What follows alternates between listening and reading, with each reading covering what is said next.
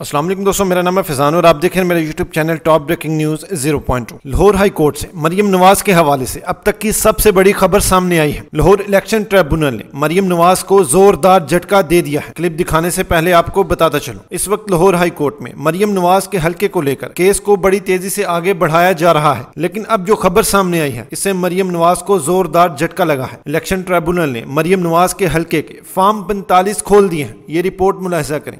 जी देखें, Lahore high court के election tribunal में वजी अला पंजाब मरियम नवाज़ की कामयाबी के खिलाफ अपील पर समाप्त हुई है और दौरान समात ईसीपी के वकील ने फॉर्म 45 का असल रिकॉर्ड पेश करने के लिए ट्रिब्यूनल से मोहलत मांग रही है और ट्रिब्यूनल ने इलेक्शन कमीशन की इस्तः को मंजूर करते हुए आइंदा समात पर फॉर्म फोर्टी का असल रिकॉर्ड पेश करने की हिदायत की है। दौरान समात मरियम नवाज़ के वकील बैरिस्टर असदुल्ला चट्ठा ने मरियम नवाज़ की जानब से जवाब ट्रिब्यूनल के सामने दाखिल कर दिया इस जवाब में कहा गया है कि ये अपील काबिल समाप्त नहीं है।